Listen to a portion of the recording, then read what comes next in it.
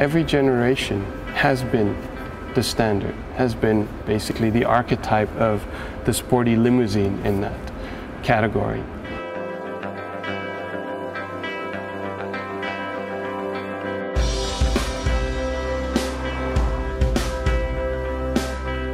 And every new generation that we make, we strive to always be that standard, to always be on top.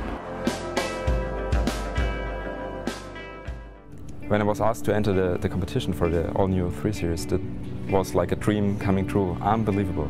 The best thing which could happen to me. I wanted to create a new face, a new BMW face, and this face is related to, to the heritage of BMW, so you find this face differently in the BMWs out of the 70s, for example, like the E21.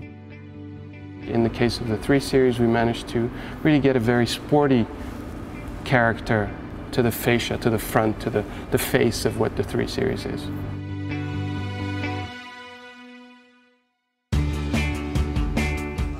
If you start to design, you're, uh, you just want to, uh, to give the car a certain approach. You, you're just aiming for, for a kind of a emotion which you're transporting with your sketch and then, if the car is getting real, then you enter a next level.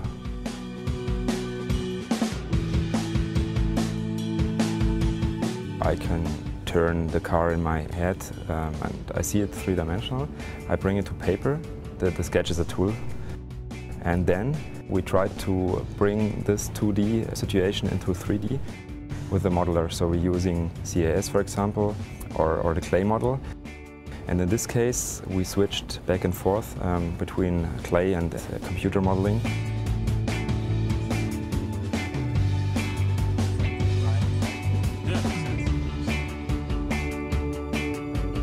We have a new theme which is called layering.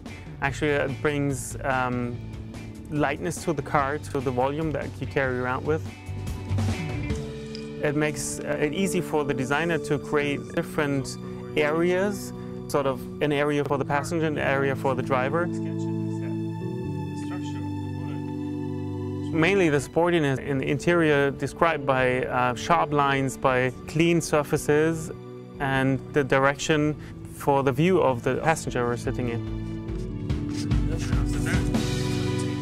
The Modern Line was the most heavy part to do because we, we wanted to go to a Scandinavian look or to bring the Scandinavian design feel into the cars. This was not so clear from the beginning on what it should look like. But at the end, I think um, every line was giving to the car a known character, and that was important.